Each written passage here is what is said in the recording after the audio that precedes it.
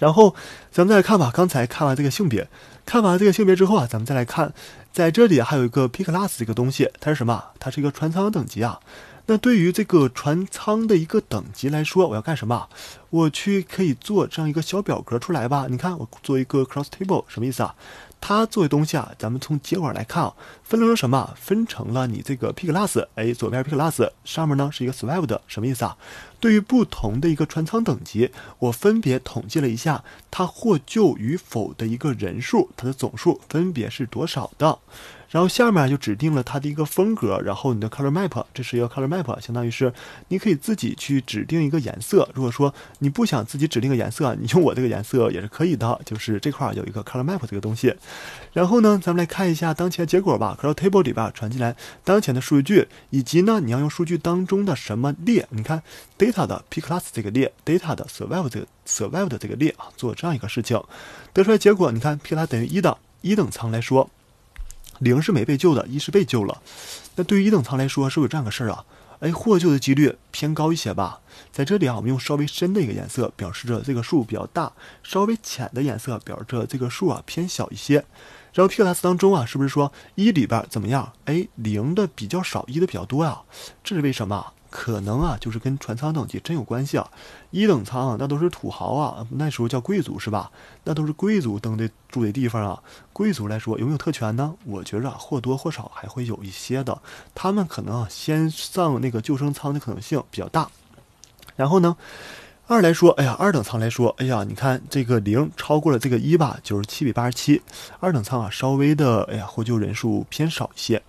然后三等舱呢？你看三等舱，三等舱总数有四百九十一。总数来说啊，一等舱是哎，三等舱是最多的，二等舱是最少的。那你看三等舱是最多的，但是获救人只有一百一十九，还没一等舱那二百多人获救人多呢。那说明什么？这个三等舱人三等舱来说啊，里边的获救几率啊，这就真的比较低了。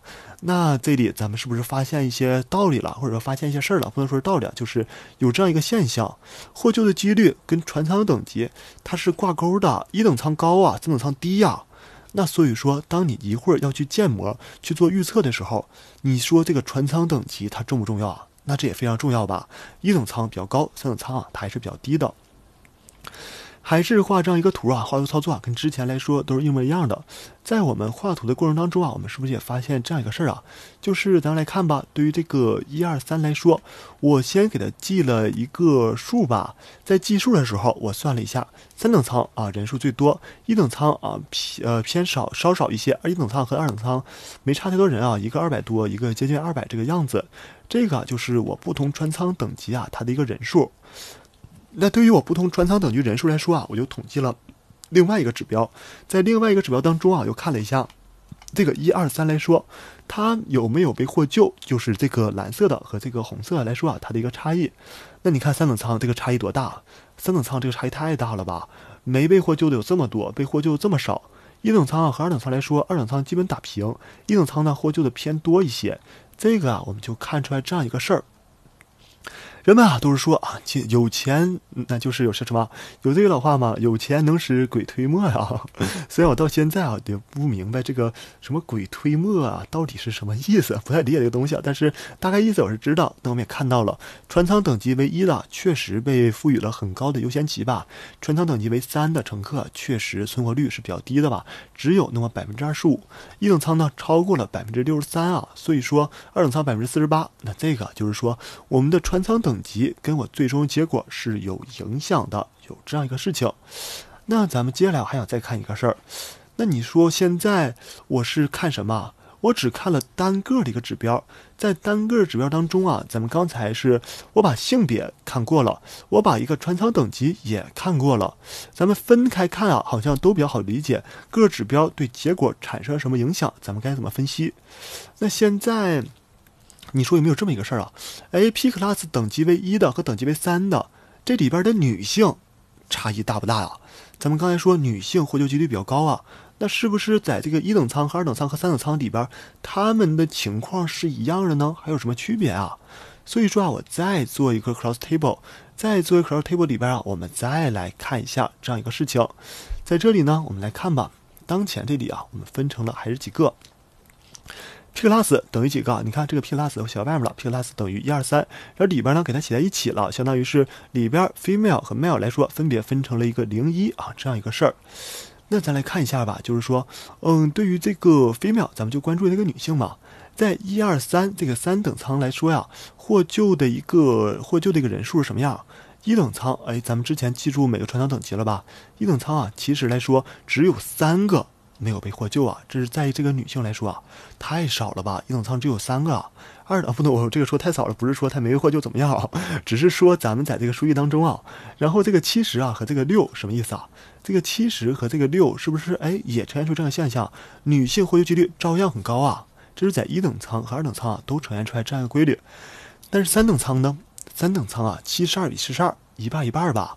咱之前啊看女性获救几率大概百分之七十五啊，但是在三等舱当中却是一半一半啊，也就是说啊三等舱本身获救几率啊都是比较低的，那里边女的也是一样的。再看男的呢，男的呀是不是被咱们之前看男的整体获救率不到百分之二十吧？那在一等舱当中呢，一等舱当中啊，哎呀一看七十七个就是七十七个没被获救，四十五个被获救了，那这个怎么样？看起来它还就是获救率相对来说是比较低的，但是要比后面二等舱和三等舱要高一些吧？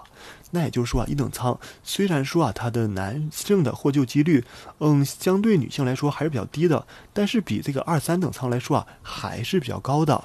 这个就是我们当前得出来一个结果，对于女性来说，同样适用于我的 P class 这个等级。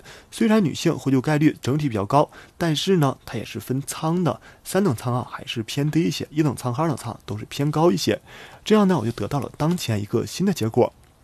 新的结果当中啊，你看，我原来是看什么 P class 跟 survived 它之间关系，现在呢指定出来了一个新的轴，sex 相当于什么意思啊？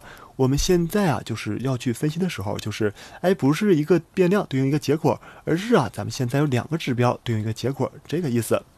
然后来看一下我的一个图吧，在这个图当中，我们可以很直观的看到，对于不同的性别，一个蓝色，一个红色，怎么样啊？蓝色是什么？蓝色啊是咱们男性同胞，女色呢？这个这个红色啊是这个女性同胞啊。这样就是我们看出来差别。你看一等舱都快接近百分之百了，这个女性；二等舱也快接近，也是零点九几，蛮高的吧？三等舱可能是一个百分之五十比较低的。但是你说不管这个女性随着舱位等级怎么变。三等舱女性永远是比一等舱的一个概率要高一些吧？三等舱女性要比一等舱男性概率要高一些。这个啊，就是说当时呢，英国呀，嗯，这个我也不好说。反正泰坦尼克号上到底什么样子，这个东西也没人去知道啊，没有去深刻的分析这个东西。反正啊，从这个数据当中，我们也呈现出来这样一个现象，就是女性不管咋地，哪个船舱都比男性要高。男性呢，一等舱稍高一些，二三等舱啊，基本上啊算 GG 死皮塔了，这个意思。然后啊，我们画了一个图啊，这个就是一个点图啊，这个点图啊，你看这是个点图嘛，这个用 C 本去画这张点图啊，相当于用模板去画。这个点图当中啊，就是啊，看着它这个折线的一个差异啊比较大，比较清晰的。然后呢，我们看出来一个结果吧，P class 也等于一的女性生存概率高啊，九十四个当中是不是只有三个没被获救啊？显而易见啊，就是说我们女性的一个获救几率都是更高的，反正就是整体嘛。